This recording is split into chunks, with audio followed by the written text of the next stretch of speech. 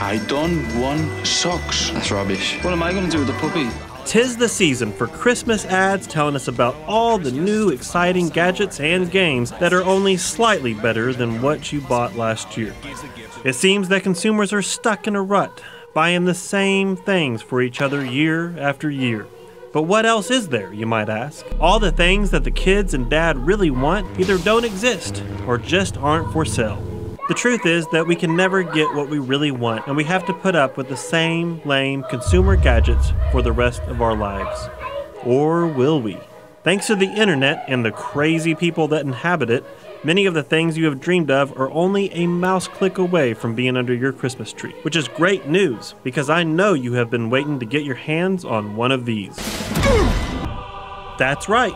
You can have your own 12 foot tall walking mech that comes fully armed with um, pink foam balls. Okay, so it's less a home security machine and more of a way to play catch with your dog while putting up Christmas lights.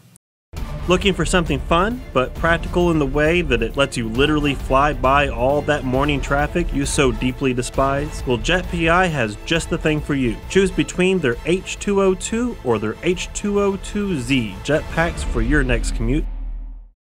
If a jetpack isn't quite hardcore enough for Dad, and he's a big fan of off roading, then he might be interested in.